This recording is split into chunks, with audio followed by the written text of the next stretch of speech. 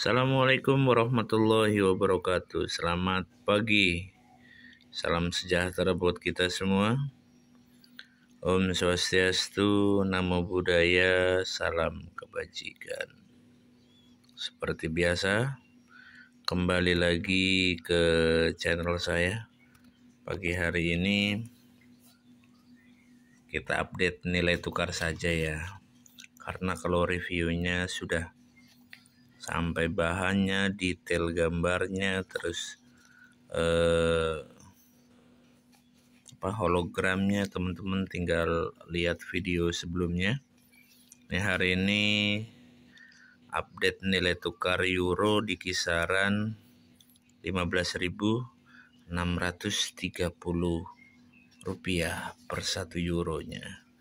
Jadi untuk pecahan 10 begini berarti 156.300 rupiah.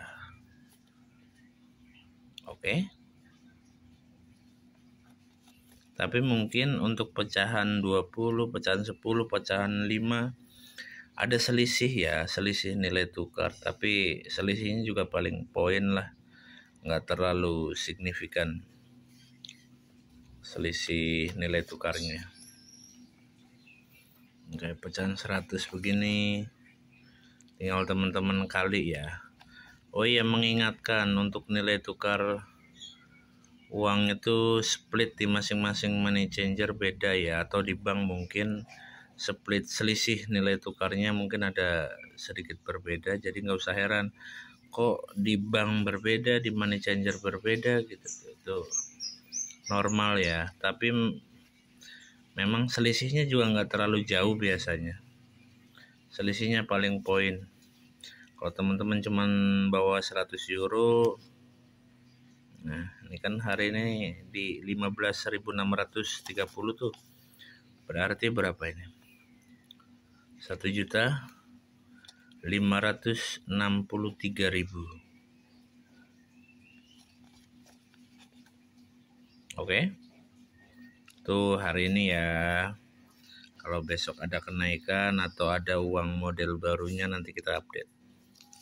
Biar teman-teman tahu ini pecahan limanya. Relatif ukurannya lebih kecil. Pecahan limanya. Kalau model gambarnya hampir semua uang euro itu belakangnya gambar jembatan ya. Tuh. Pecahan 5 pecahan 20 tuh. Gambar belakangnya gambar jembatan pecahan 50 tuh. Pecahan 50 yang model ini pecahan 100 rata-rata semua gambar jembatan belakang. Oke. Jadi sekali lagi split masing-masing money changer atau bank selisih nilai tukarnya mungkin sedikit berbeda. Karena perbedaan masing-masing poin. Ya Semoga video ini bermanfaat. Kurang lebihnya mohon maaf. Assalamualaikum warahmatullahi wabarakatuh.